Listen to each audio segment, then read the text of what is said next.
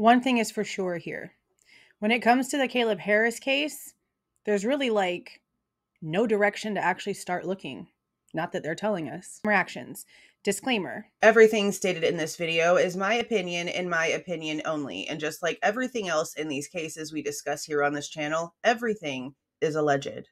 Caleb Harris.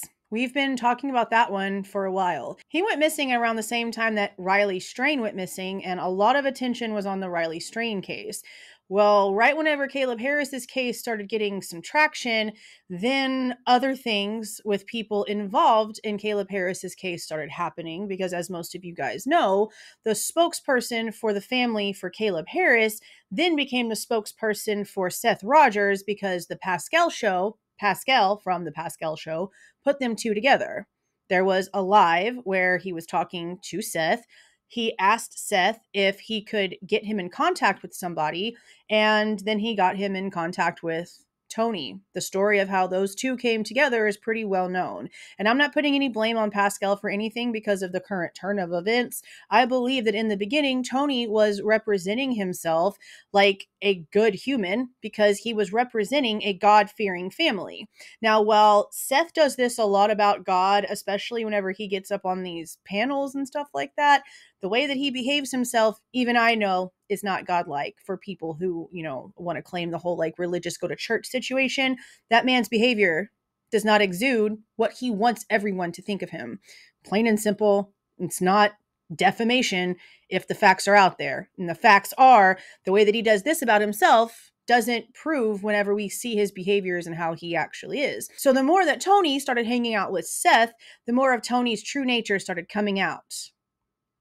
Yeah, we talked about this earlier in the Sebastian Rogers video. Now, there's been some discrepancies now about this TikTok situation.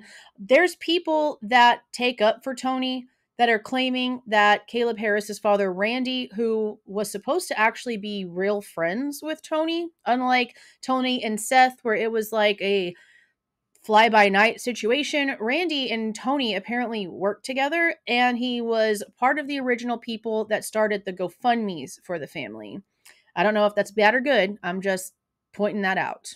Now, again, there's people taking up for Tony, claiming that Caleb's dad allowed Tony to take down everything of Caleb's and rename the TikTok account because Tony is the one who made the TikTok account. But I'm hearing that there's like a recorded conversation where there's an argument and a couple other things. And as far as I can tell, I don't know a single person who is a parent searching for their child where there's literally no answers. Just like there's no make no sense boo boo bullshit in the Sebastian Rogers case, there's no answers whatsoever, make no sense boo boo bullshit in the Caleb Harris case.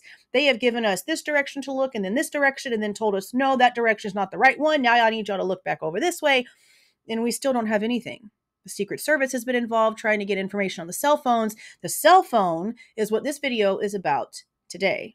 We believe there are there's at least one person out there in the community that knows what happened to him. Uh, so we're waiting to hear from that person or or somebody that knows that person. There's a lot of work being done behind the scenes. Every week uh, we uncover uh, some new information that leads us to ask more questions. Every week we learn something new, and uh, we feel like it's every week we're getting a little closer to solving it. Now, I didn't know this until if I don't know, sometime last week, I believe it was, the end of last week.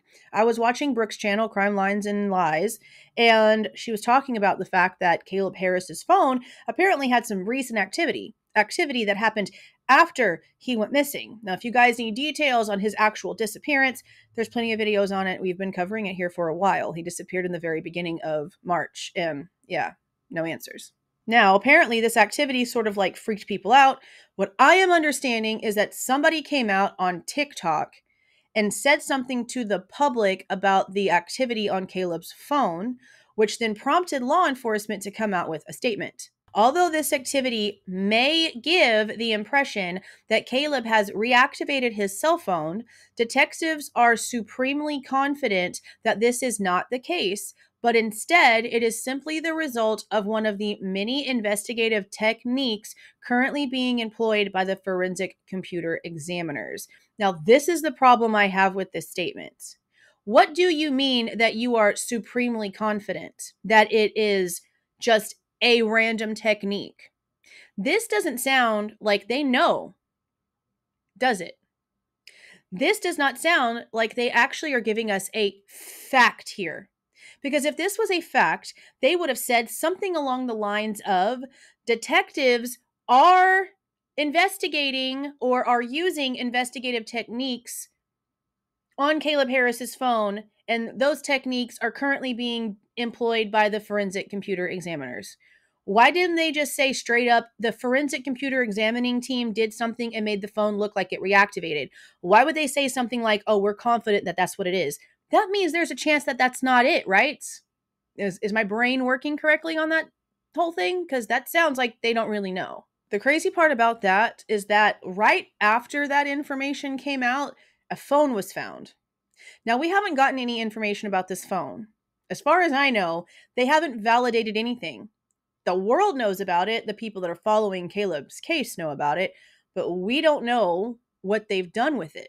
All we know is that it was turned over, and the timing of this soci activity them being confident in what it is, which means there's a possibility that they are wrong because that's not a fact. That's basically like an assumption. They are guessing what it is. Okay.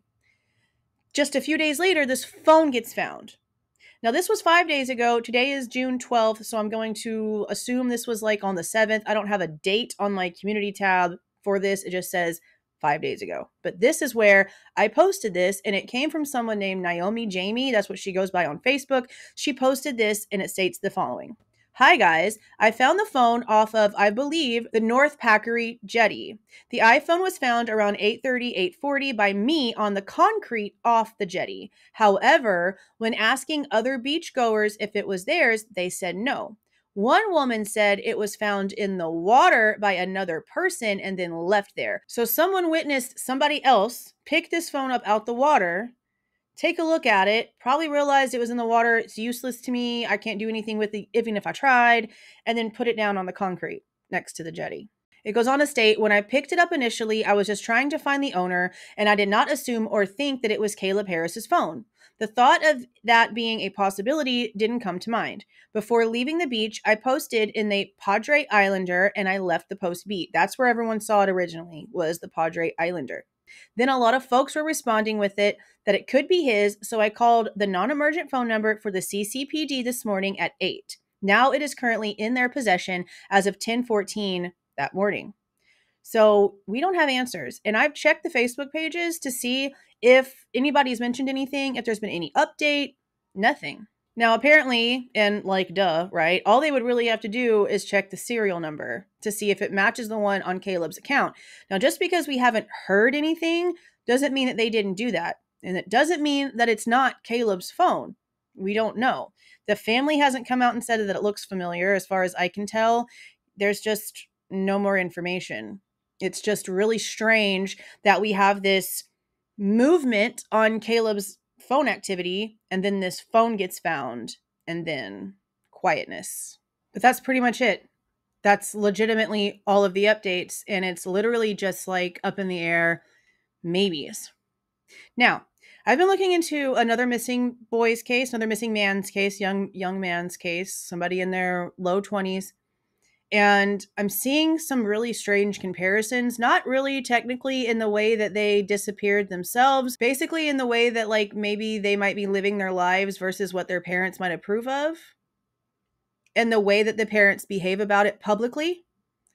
Which, if these men are not missing, would be a really big reason to not show yourself which is something that needs to be considered considering that there's no answers. Now, I know Caleb Harris left behind everything besides his phone keys to his vehicle, his wallet, all of the things. But people do disappear and start over. People do run away from their life for one reason or another, and sometimes people just never find out why. So, even though this is insane, and I personally believe that foul play is definitely involved here, I think that there's a lot of credence to something that the parents don't want to talk about because of their religion. And that's not very fair to finding Caleb. We're going to talk about that in another video. I don't think it's appropriate without the full context. So we'll talk about that in another video along with the other case But that's it for these updates. Again, nothing. No answers, no real directions on where he possibly could have went. Just he ordered DoorDash for lunch the next day whenever he was supposed to go fishing after class, put the dog that he just got, him and his roommate just got that day, back into the apartment, and then magically just poofed. And honestly, I've said it before, I'm going to say it again. Alien abduction at this point is the only thing that makes any sense. Who knows? The truth is always stranger than fiction, though, right? Oh, and one more thing when it comes to TikTok Tony. Apparently, he's not going to be TikTok Tony anymore because that, that page is gone. The one that he did create for Caleb Harris, that there's all this controversy over, that he then renamed, removed all of Caleb's information, put his own face, all the things at 11,000 followers. It's no longer there. So either TikTok got hip to his boo boo and deleted it, or he deleted it himself. We don't know. We don't know. But I'm sure Mr. Drama Mouth will be out here telling everybody by tonight exactly what happened. I'm not going to hold my breath because honestly, I'm over it. I'm, I'm, I'm over it. I'm over it. That's it though, you guys. If you like the way that I present this information and give my opinion, please do not forget to leave a like on the way out and subscribe to the channel if you are not subscribed already. See y'all.